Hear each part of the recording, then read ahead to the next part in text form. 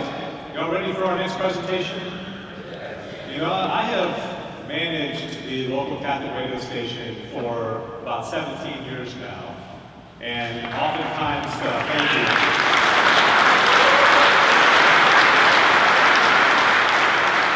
I was actually saying that leading into our guest, I promise. Now, it wasn't, it wasn't shameless plug for the radio station, but it is located at 910 again. Uh, and, you know, I I get into and one of the easy conversations with people is, you know, what program do you like? What's your favorite show? And I'd say for 17 years, it's been pretty consistently, there's a lot of great shows, I won't list them all, but I, I would hear Catholic Answers Live. It's just, uh, it's a very popular show. It's on during drive time in the afternoon, and it's very well done, and that's been kind of the go-to favorite show. But the last four or five years or so, there's another show that has been creeping up, and we're hearing as often, if not sometimes even more often. It's the most popular show on Catholic radio, and it's, it's called Call to Communion. And it's this soft-spoken man from Birmingham, Alabama, who answers questions from non-Catholics, and phenomenally successful show. And I'm sure many of y'all would say it's your favorite show on Catholic radio. And we happen to have the host of Call to Communion uh, here with us today, and we're honored to have him. Dr. David Anders was born and raised in Birmingham, Alabama. He began his college career at Tulane University in New Orleans, where he met his wife, but they both completed their degrees at Wheaton College in Wheaton, Illinois. Dr. David Anders earned his BA from Wheaton in 1992, an MA from Trinity Evangelical Divinity School in 1995, and a PhD from the University of Iowa in 2012, we studied Reformation history and historical theology. Dr. Anders taught history and religion in Iowa and Alabama, and he currently resides in Birmingham, Alabama, with his wife and five homeschooled children. His show, by the way, 1 o'clock every afternoon. It's a tremendous live call-in show, and so please, we're honored to have him here with us. Dr. David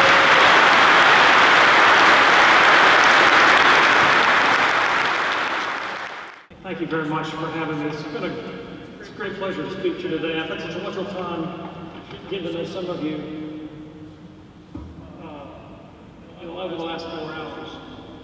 Um, so as Dave mentioned, I host a show for EWTN. The show is called to Communion. Uh, it's for non-Catholics, and the tagline is, what's stopping you from becoming a Catholic? And uh, I get all kinds of answers to that question. I think my favorite one was a fellow that called and said, Dr. Anders, you're always asking what's stopping people from becoming a Catholic. I've, I've listening to your show for about six months now, and I can say with some assurance that what's stopping me from becoming a Catholic is you. Um, but my, my qualifications, so to speak, for the show are not just that I have a degree in theology, but that I grew up extremely non-Catholic, vehemently non-Catholic, raised in an evangelical Protestant tradition. And uh, I went to graduate school intent on debunking the claims of the Catholic Church. And I had probably every objection to Catholicism that you could imagine. And of course, I was eventually disabused. And so when people call and ask me questions, I'm right there with them. I sympathize because I was I was in their boat. Uh, and typically, I hear the same objections over and over again. You know, why do Catholics worship Mary? Where's purgatory in the Bible? Uh, you know, what about the clerical abuse crisis? But about a year ago, I heard a new objection, one that I had never heard before, and those are always my favorite, you know, something new. I heard from a young man who called me up and he said, Dr. Anders, I want to tell you why I left the church. I said, okay, why did you leave? He said, I left the church because of her teaching about the Eucharist. Said, that's a new one. It usually goes the other way around. People are attracted to the church because they're attracted to the Eucharist. Said, what are you talking about? He said, well, you know, I was told that the Eucharist was the best thing in the world, that it would change my life, that I would go to communion and I'd never be the same. And so I went to RCIA and I learned the faith and I professed the faith and I was baptized and confirmed at Easter. And I went forward to Holy Communion and I received communion and I felt nothing. I felt unchanged. I thought, well, maybe it has to build into my system for a while. So I kept at it, you know, for six weeks, nine weeks, 12 weeks. And I was just the same old guy. Nothing seemed to be different. And so I came to the conclusion that the church's teaching was a lie, that I'd been sold a bill of goods. Fooled me once, shame on you. Fooled me twice, shame on me. So what was going on here with this young man? What were his expectations? Now, from his point of view, everyone had told him that the Eucharist was the big thing, that would change his life, it would make him feel different, he would think different. And I suspect many of you have heard these kinds of appeals. I understand where he was coming from, and yet he did not feel any different. His life was unchanged, and given his expectations, given what he had been taught, I think he was right to feel cheated, right to feel disappointed. Because I also recognize that he had been badly taught about the Eucharist and given false expectations. He knew about the real presence to be sure, oh yes, but there was something else that he did not know. Now we know that the Eucharist is the source and the summit of the Catholic faith. But do we know how? We know that Christ is really present in the Blessed Sacrament. But do we know how that's supposed to make a difference in our lives? St. Ignatius of Antioch said the Eucharist was the medicine of immortality. But do we know how it's supposed to change us? The medical metaphor makes it sound pharmacological. Is that how the Eucharist works? Is it like a pill? And does it matter if you know how it works? Pills work whether you know how they work or not. And what are the effects of the Eucharist? Is it supposed to change the way we feel, like a psychoactive drug? Now, there are Catholics who know the Church's teaching, but who, when pressed, would be hard-pressed to answer these questions. So what I want to do today is I want to address these questions and other questions with reference to the idea of a relationship with Christ. In the last 30 years, it's become increasingly common in Catholic circles to speak about having a relationship with Christ. And in truth, this is not traditional Catholic language. The phraseology comes from Protestantism. But the popes have embraced it and have said that this is an appropriate way to describe Catholic spirituality. And so what are we talking about? A failure to understand this, how to relate to Christ, whether in the Blessed Sacrament or in other areas of Catholic life, leads to disappointment, to disillusionment, like this young man. Now, the idea of relationship suggests conversation, dialogue, mutual empathetic exchange, the intimacy of friends. Is this what we mean? Jesus did say, I no longer call you servants, but friends. Is that what we're looking for? I'll tell you another story. I was working on book manuscripts one time, and I had parked myself at a local coffee shop, Starbucks. I was writing away about the relationship with Jesus. And I couldn't help overhearing the conversation between a man and a young woman, and they were talking about relationship with. And this fellow was telling this girl, I'm going to teach you how to hear from God. And he said, what you do is, you tell God to speak to you, and then you blank your mind, and the first thing that pops in your head, that's God talking to you. This is what I call the Harvey the Invisible Rabbit view of Jesus. In 1950, Jimmy Stewart started the movie called Harvey. Uh, it's about a man who has a relationship with an invisible rabbit. Right? And he talks to him, and they go out for drinks together, and nobody else can see him, but they're best friends. So we, the audience, are not really sure if there's a Harvey or not. My conversation partner, my confidant, my drinking buddy. What do these two stories have in common? In both cases, we're talking about people who were looking for an immediate, sensible encounter with God. Maybe something as tangible as a conversation with my friend, and something that feels different from ordinary experience, something extraordinary. It wouldn't be wrong, I think, to compare what they're looking for to the kind of rush that people get from drug use or extreme sports. Is this what relationship with Christ is? Is an overwhelming feeling? Now, Dave Morey's band were fantastic, and I thoroughly enjoyed their music this morning. And I love the genre as much as anyone. But there's also another movement, particularly in Protestant Christianity. We'll call it the worship movement, that imagines that they feel Holy Spirit in the rush of positive emotion in response to moving music. If you've ever been to a Protestant megachurch, you know the worship leader will sometimes say something like, couldn't you feel the Holy Spirit's presence today? And what they really mean is, didn't you all have a positive emotional response? Is that what we mean by relationship to Christ? You know, I used to be in that camp. I had a brief sojourn in the early 90s in the Pentecostal charismatic movement before I was Catholic. And I went to one of these churches, and there was great music, and we were all deeply moved. And of course, this was charismatic, so we were all speaking in tongues and hooting and hollering like anybody's business. And I was there with the best of them, arms raised, speaking in tongues, carrying on. And a man in front of me turned around and looked at me. And he said, Brother, you are filled with the Spirit of God. And in a flash, the dream ended. I came crashing down because I knew in an instant how wrong he was.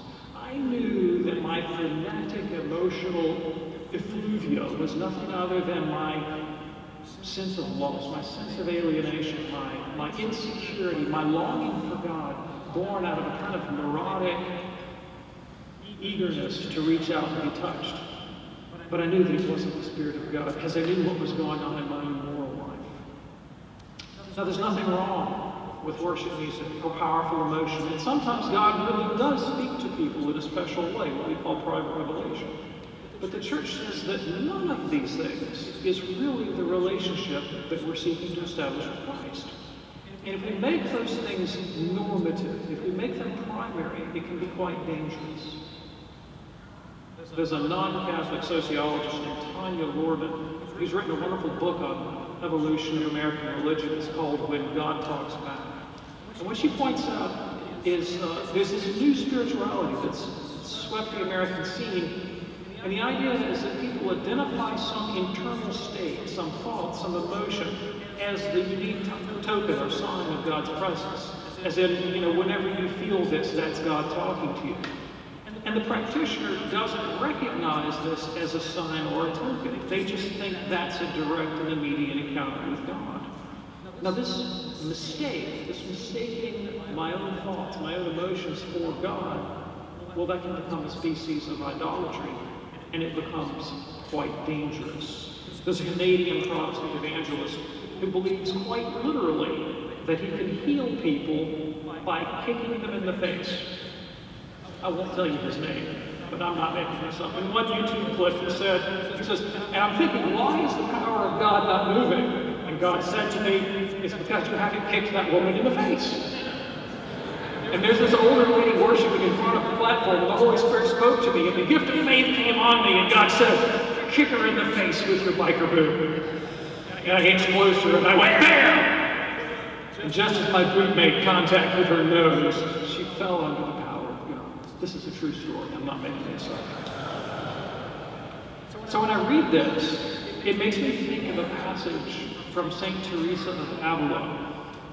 Teresa says, there may be some who are so weak in intellect and imagination, I have known such, that they believe they actually see all they imagine.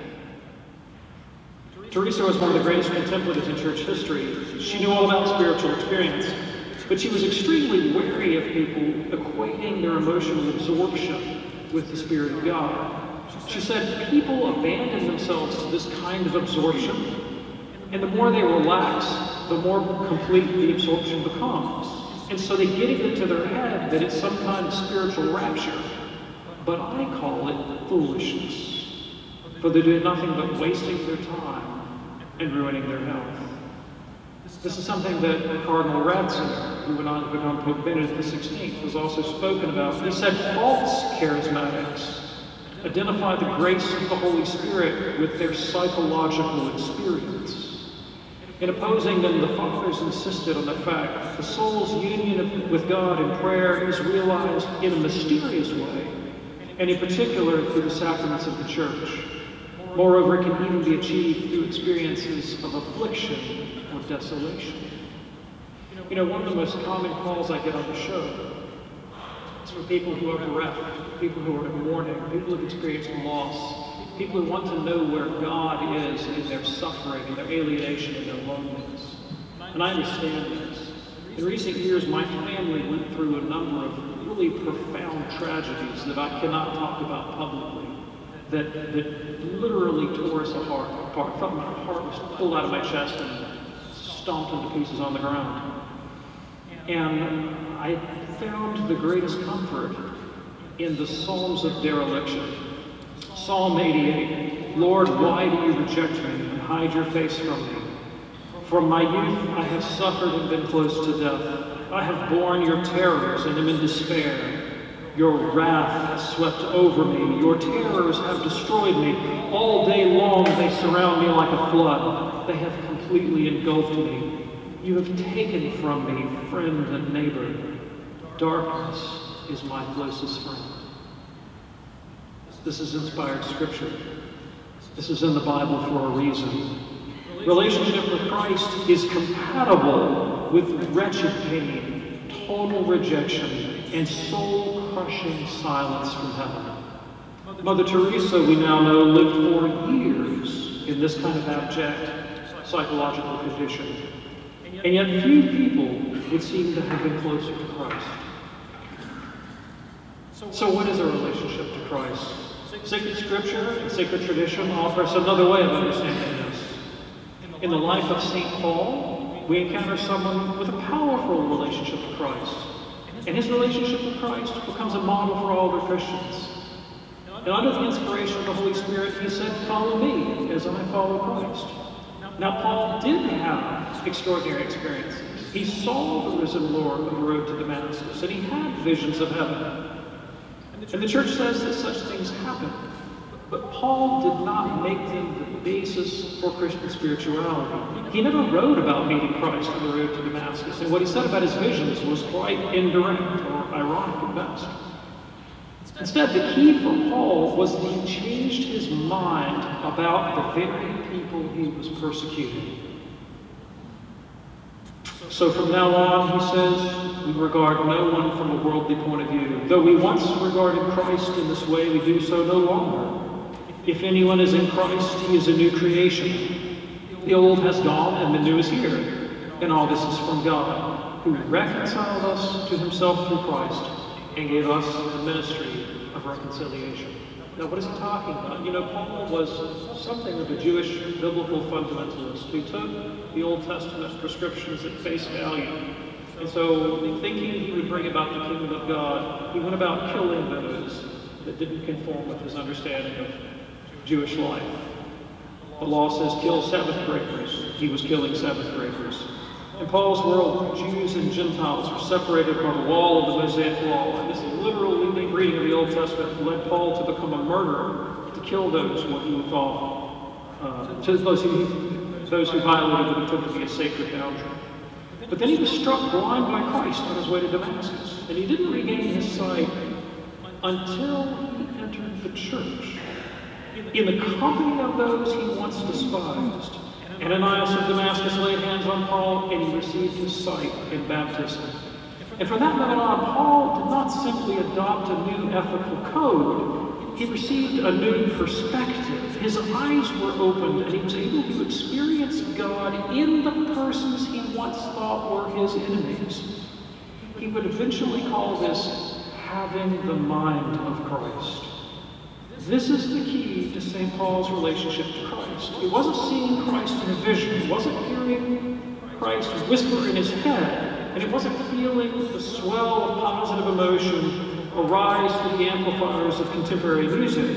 It was that he came to internalize Christ's personality. He came to see the world through Jesus' eyes. Pope Benedict XVI explains, he says, faith does not merely gaze at Jesus, but sees things as Jesus sees them, with his own eyes. It is a participation in his way of seeing. Now, this is what the church calls illumination, and it's a critical step on the path to union with God. We're not talking about simply what you learn in the catechism or your ability to recite the creed. We're talking about an interior transformation. Ephesians 1.18, Paul says, I pray that your eyes of your heart may be enlightened. In the ancient church, they called baptism illumination to underscore this change of perspective, being able to see through Christ's eyes. In the Easter Vigil liturgy, we say, the light of Christ, thanks be to God. You know, in the Gospel of John, this image of light predominates. I find it over and over again. I am the light of the world, Jesus says. And it's a light that we can share when Christ comes to dwell in our hearts. John 14, Jesus says, If you love me and keep my commandments, the Father and I will come to them. I'll come to you and make our dwelling with you. You know, growing up in the evangelical church, I heard all the time that Jesus has to live in my heart. Invite Jesus to come live in your heart. I didn't know what that meant as a little kid. I thought I had a, you know, a little tiny homuncular Jesus living someplace over in the left atrium. I told this story many times, and I used to say left aorta, but I had a cardiologist today tell me, Anders, there's no such thing as the left aorta. You have to say left atrium. Um, so how does Jesus dwell in our hearts? What does the church say? Well, St. Thomas Aquinas says that Christ dwells in us as the known is in the knower and the beloved is in the lover. Anyone who is married and in love with your wife knows what that's like. Your wife is not literally hanging out someplace in your left atrium, but you've come to internalize her perspective. You know what she likes. You know what she doesn't like. You know what she fears. You know what her aspirations are. And you come to share those as your own. Aristotle says a friend is like having a second self. A spouse is like that. It's like you have another you that you're looking out for. Internally, you've internalized that person's perspective. This is the way in which Christ comes to dwell within us. Now, this is not the kind of knowledge that you gain simply from the Baltimore Catechism or from recitation of the Creed.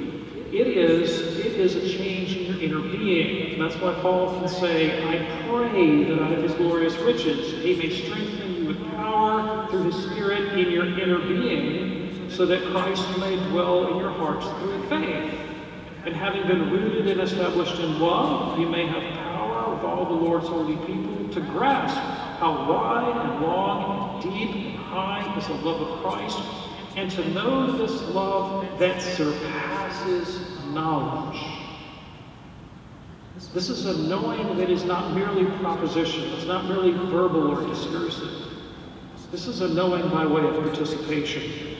And this is what the church says about relationship to Christ. We obey his teaching, we imitate his example, and ultimately we come to internalize his personality.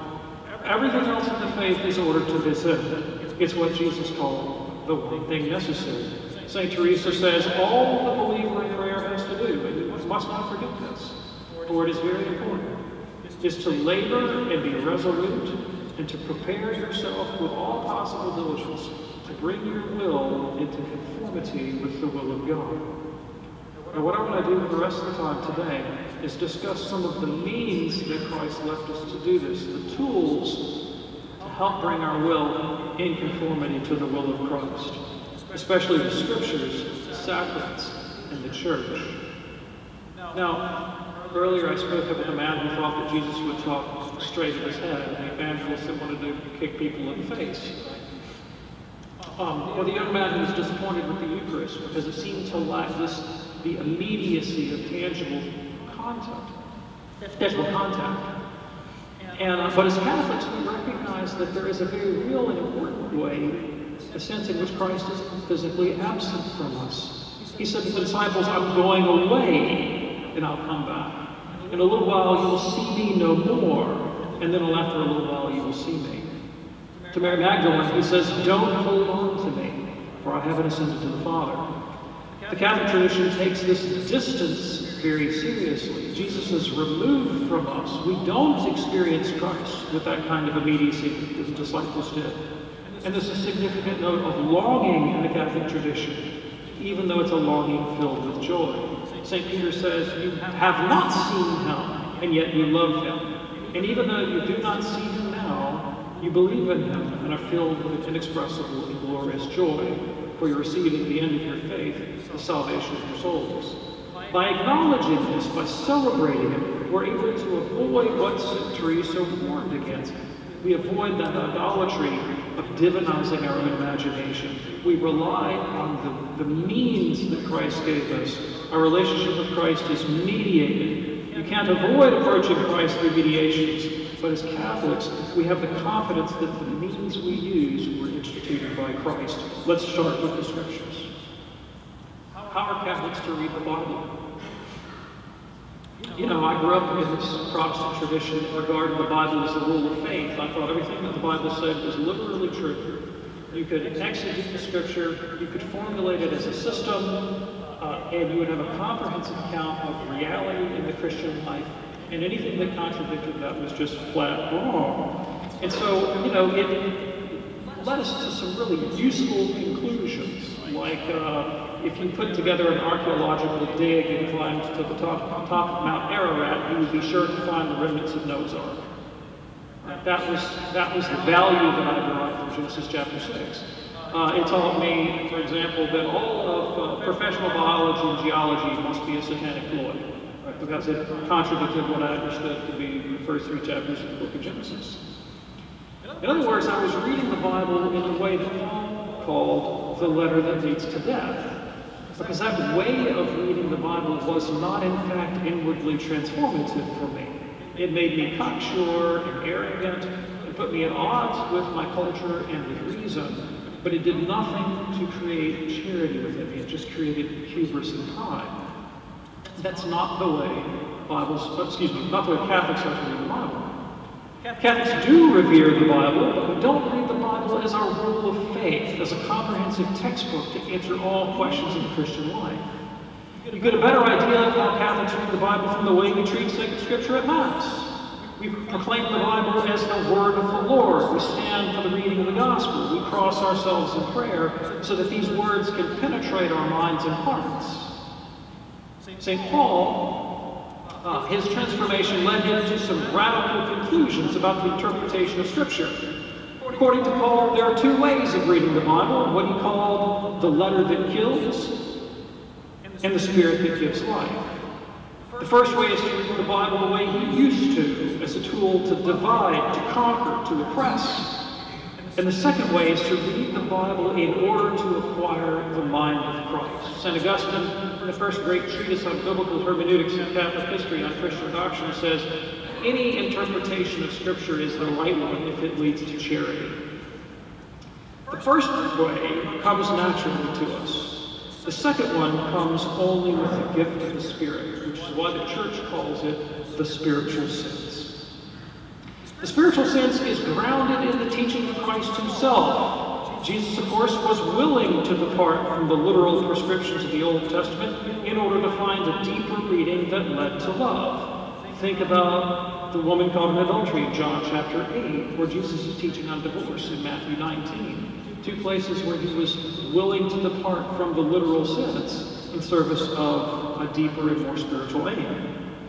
Now, Jesus' whole ministry was oriented away from the pedantic insistence upon rules and texts and towards transformative experience.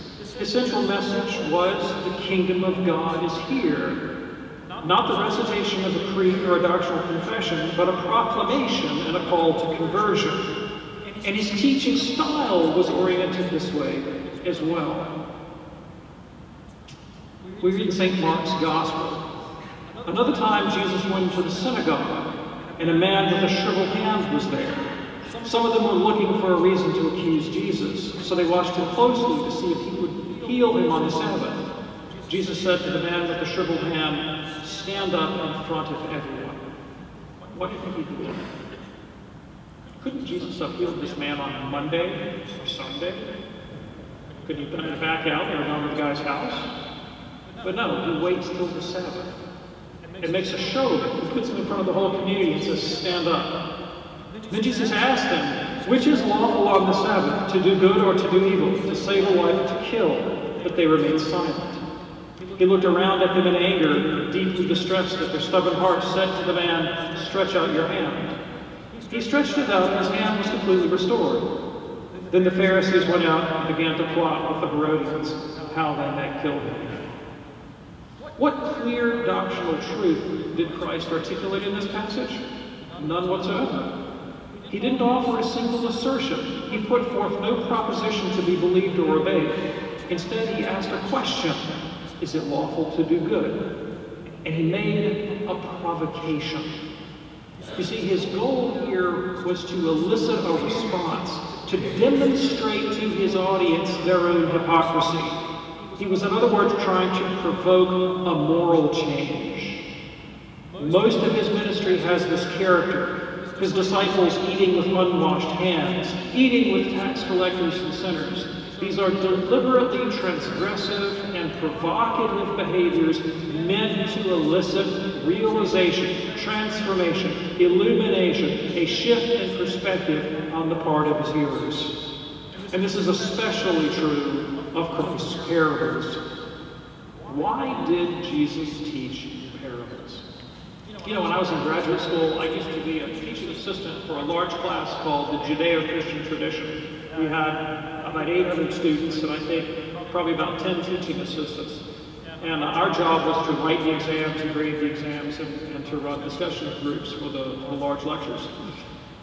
And uh, the TAs were from different traditions. We had people studying Christianity, people studying the New Testament, people studying Hinduism and other, you know, Buddhism, anything that was in the religion department. So not everybody there was well versed in the Bible. And the head TA was a Jewish woman.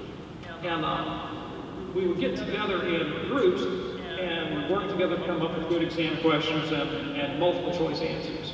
And uh, one time I remember the question came up, well, why does Jesus teach in parables? We were going to make this an exam question. And, uh, uh, and the head TA said, well, you know, the right answer is obviously because parables are so easy to understand. And of course, every New Testament scholar in the room went, um, he actually says the opposite. Right? Matthew 13, Jesus' disciples came and asked him, Why do you speak to the people in parables? He replied, Because the knowledge of the secrets of the kingdom of heaven has been given to you, but not to them. This is why I speak to them in parables. Though seeing they do not see, though hearing they do not hear or understand. Excuse me? Jesus just said that he speaks in parables because he does not want to be easily understood. What's up with that? Here might be useful to consider the nature of a parable. Parables were part of the Hebrew prophetic tradition. Let's look at the way the prophet Nathan used the parable of the poor shepherd to King David. David hears Nathan tell of a poor man who had only one ewe, a sheep he loved like one of his own children. He lived near a rich man who had many sheep. But when the rich man entertained the guest, he took the poor man's one sheep away from him to slaughter and serve his guest. When David heard the story, he became furious and he insisted, The man who did this must die. But Nathan responded, You are that man. For David had stolen Bathsheba away from Uriah the Hittite and had had the man murdered. Nathan's parable was not a simple moral lesson.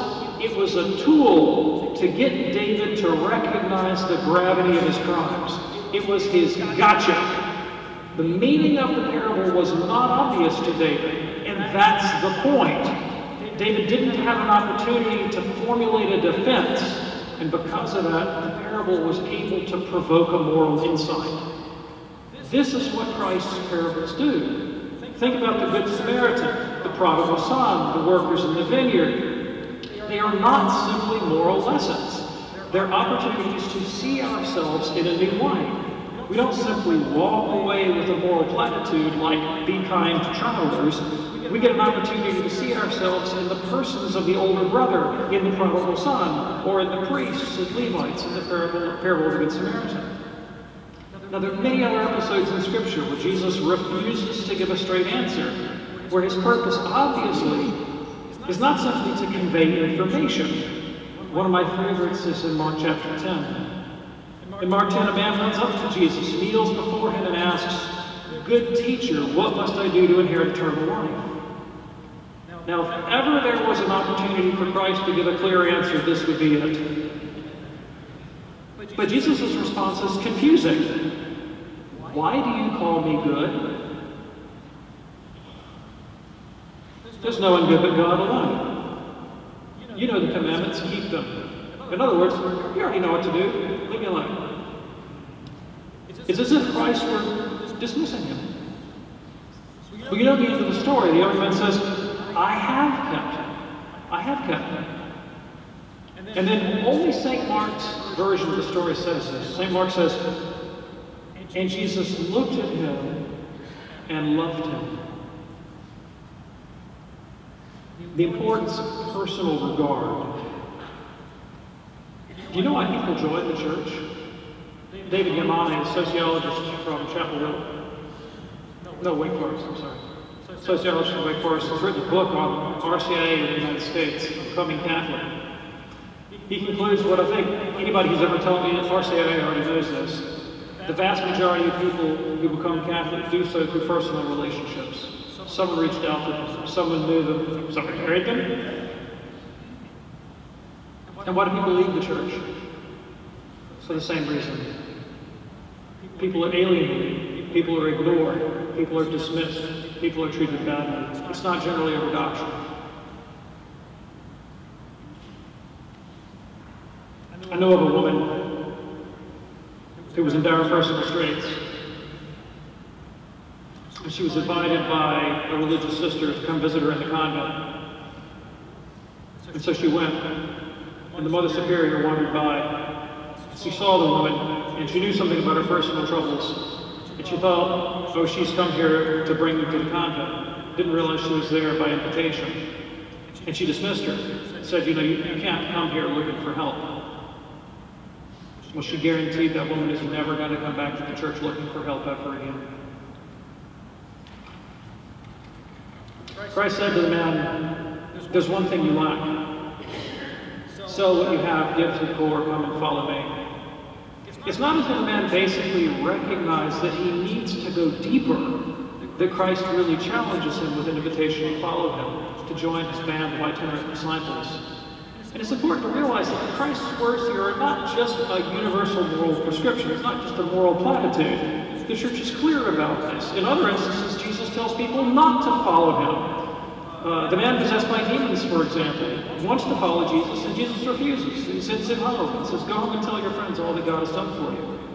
The response to the man in Mark 10 seems like a targeted response to a specific individual aimed at least in part to provoke a deeper insight into his moral condition. So how do we now, in this day and age, appropriate this? How can we enter into this reading of the Scriptures and allow Christ to provoke us, to provoke an insight in us?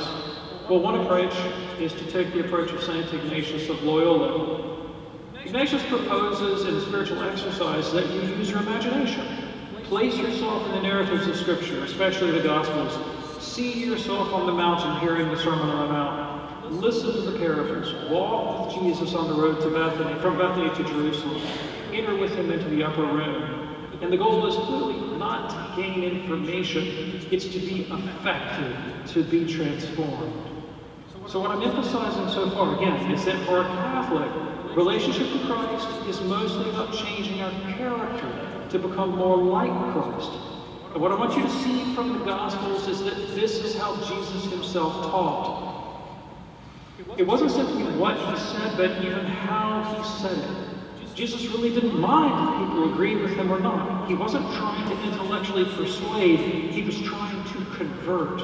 Repent, he said, for the kingdom of heaven is here. Now, in addition to his verbal teaching and his provocative demonstrations, the other thing that Christ did of great significance was to institute the sacraments. Baptize in the name of the Father, Son, and Holy Spirit. Forgive sins. Do this in memory of me. What I want to suggest to you is that Christ's use of the sacraments is very similar to his use of parables. The purpose of the sacrament is not to expound the faith, but to elicit it, to evoke it, to demonstrate it. The sacramental mode has this power about it that it works on a level beyond mere verbal description. Like the parables, sacraments are adapted to help us internalize the person of Christ. But how? As Catholics, we understand that the sacraments are supernaturally powerful tools to transform our lives. they're not merely symbols. But many Catholics make the mistakes of forgetting that they are also symbols. And the key to their efficacy is to understand how these two things relate, how the supernatural power, power of God, present in the sacrament, and our appropriation, our internalization of the meaning of the symbol work together. If we properly attend to the symbol, the meaning of the sacrament, they can more effectively imprint upon our souls. I'll give you an illustration of how this works. When I was in college, I was at Wheaton College, it's an evangelical Protestant school in Chicago. And uh, they had a, a chapel there, it was a prayer chapel. Imagine a Eucharistic adoration chapel without the Eucharist. That's what it looked like. But they did have something, a table, rather like an altar, they called it an altar. And people would go in there and pray quietly and silently, but you were allowed to write your prayer intentions anonymously on a sticky note and put it on the so-called altar. So you'd be in there, you'd be praying for a while by yourself, and you might wander up and pick these things up and, and pray for your fellow Christians. And I would do this frequently. And I found after a while that many of those sticky notes were more like confessions of sin. They were, uh, I'm struggling with this sin, please help me. I have this weakness, please pray for me. And uh, it, it, it, wasn't until years later that I reflected back on the experience and thought, you know, here are these people coming into, you know, a darkened room and unburdening themselves and seeking a word of comfort. Wouldn't it be nice if God could whisper to you, it's okay, I've got this. And of course, when I finally became Catholic, I had that experience.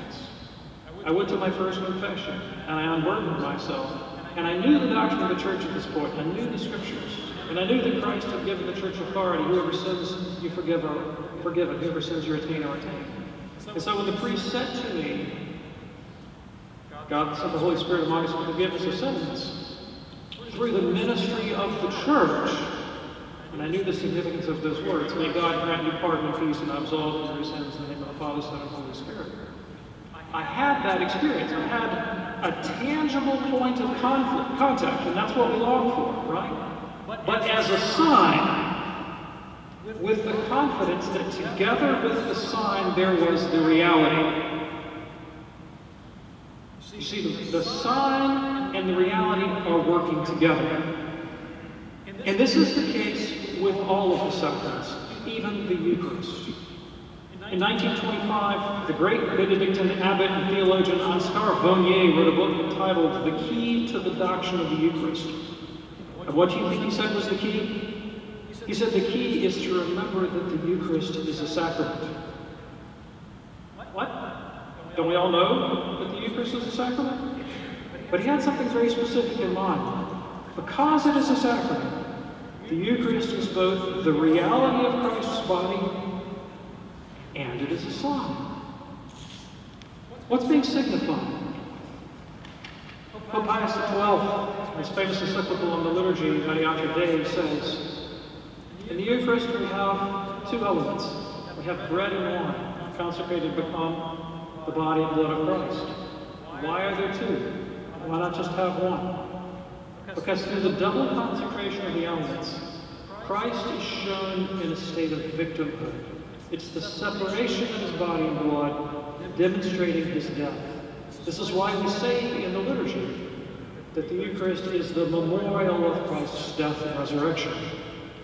And so, what we find in all of the sacraments is that Jesus shows us, he demonstrates, he ritualizes for us that thing that he wants us to do. He wants us to seek reconciliation, so he, so he presents it to us in the sacrament of reconciliation. But the real heart of the Christian faith, St. Paul says, is to offer your bodies in living sacrifices. This is your spiritual act of worship.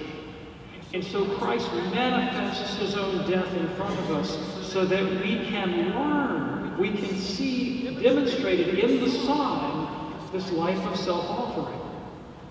The Second Vatican Council said the people of God should be instructed by God's word, nourished at the table of the Lord's body, give thanks to God by offering the immaculate victim, not only through the hands of the priest, but also with him.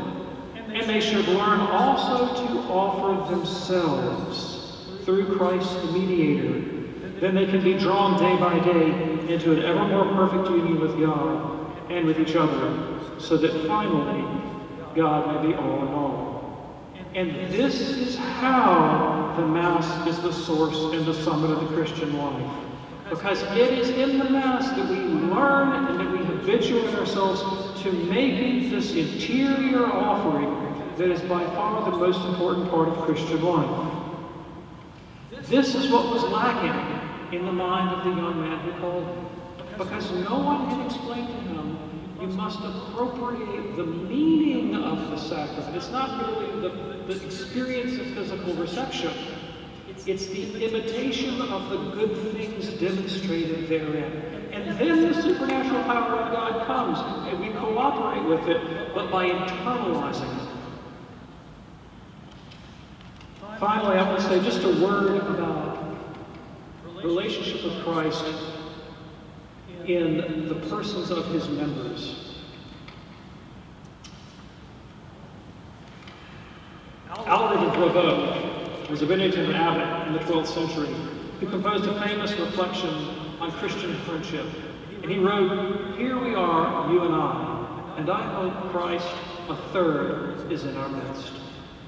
For Aelred, there's a knowledge of Christ that can only emerge in the midst of believers. We can only experience it through dialectical engagement, the I and thou of interpersonal exchange. When I first became Catholic, I was privileged to meet a Dominican priest who was 100 years old, an Irish Dominican, who had once edited the Pope's newspaper, L'Osservatore Romano, been in Rome under, under three popes. And he was living in a local convent near home. And I thought this guy would be an amazing opportunity to learn more about the content of the Catholic faith and what it's like to live in Rome and work for the Pope and drive in Ireland, and that was the part of the world I wanted to learn more about. So I made an, made an appointment to go visit him. He was blind, so he needed people to read to him. I wanted to go read to him. And uh, as I got to know him and was reading him, we discovered that we had far more in common and mutual interest in one another than we did in the texts. And so we put the reading aside and we just began a relationship of discussing theology and the church and church history. And he was a brilliant intellect. He knew the writings of St. Thomas backwards and forwards, and he knew more about the church than anyone I'd ever met. But after several years of this relationship, I began to realize that the real value to me was not his profound knowledge of theology, but his ability to channel that in service to me as a human being. And even as Christ looked at that young man and loved him, so Father Lambert looked at me and loved me. And he would always ask me, How's your father? How's your mother? How are your wife and your children? How's your work? How's the bishop? And it was that interpersonal exchange of love that unfolded to me ultimately the real value of Christian relationship. And I came to realize the truth of Paul's words. If I have the gift of prophecy and I can fathom all mysteries, but I have not love, I am nothing.